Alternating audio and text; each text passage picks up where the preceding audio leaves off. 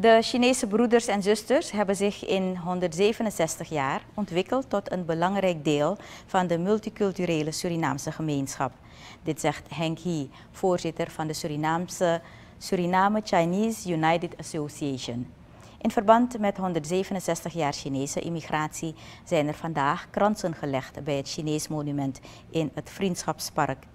VHP-parlementariër Xuan Rui Wang haalde aan dat de Chinezen een grote bijdrage hebben geleverd aan verschillende sectoren in Suriname. 新冠病毒疫情在苏里南蔓延之时，我们华人群体积极地发起募捐活动，与政府和人民同共同抗击疫情。我相信，在全国各族人民的共同努力下，我们一定 能正信疫情。Een heel belangrijk voorbeeld is de COVID-19-pandemie dat uh, in de hele wereld zich heeft verspreid. De Chinese gemeenschap in Suriname heeft ook de allereerste aandacht besteed hieraan en heeft allemaal handen in elkaar slagen om niet alleen de instellingen ook um, donaties uit te voeren, maar ook de overheid uh, geholpen om uh, dit pandemie eigenlijk samen te laten uh, bestrijden.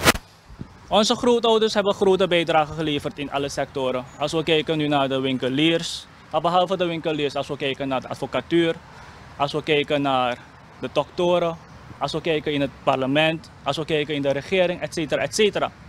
De Chinezen zijn tot de dag van vandaag eigenlijk niet te vergeten in Suriname. Cultuurdirecteur Roseline Daan gaf aan dat de Chinese cultuur dwars door de Surinaamse cultuur gaat.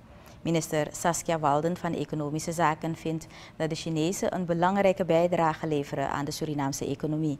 Daarnaast haalde de Chinese ambassadeur Li Kuang aan dat de Chinese gemeenschap nog altijd een bijdrage levert aan de ontwikkeling van Suriname. En deze cultuurwaarde die dwars door alle bevolkingsgroepen moet lopen, moet ervoor zorgen dat we uiteindelijk terechtkomen in wat we noemen een heel mooie natie.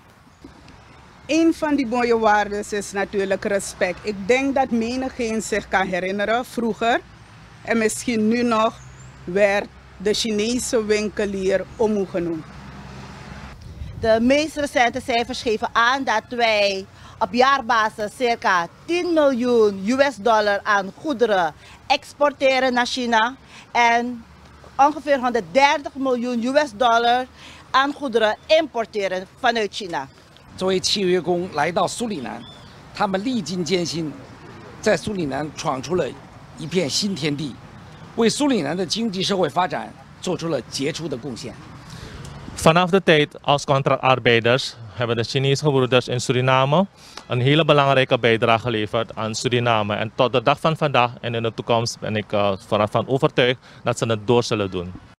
Dat was de Chinese ambassadeur in Suriname, Liu Guang.